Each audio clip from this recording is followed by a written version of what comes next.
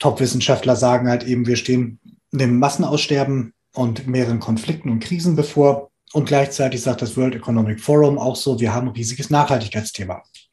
So, das heißt, also was wir sehen, ist ja auch dieses alles, was wir vorher schon betrachtet haben, nämlich dieses, dass Politik das weiß, aber nichts tut, das Unternehmen das wissen, aber nichts tun und so weiter. Aber grundsätzlich alle sind sich einig, es muss ja irgendwas passieren. Das, das wollen ja alle so. Und dann, ähm, wenn sich dann alle so schrecklich einig sind, so, dann haben wir uns auch mal überlegt, so, woran kann das denn liegen? Und dann fiel uns auf, ja, es fehlt noch einer. Mhm. Und wer fehlt, ist nämlich in der Tat der Eigentümer. Mhm. Weil die ganzen Unternehmen und Gesellschaften und so weiter, die gehören ja irgendjemandem. Und wenn man die dann mal betrachtet, dann sieht man, okay, hier sind wir vielleicht einer Sache auf der Spur.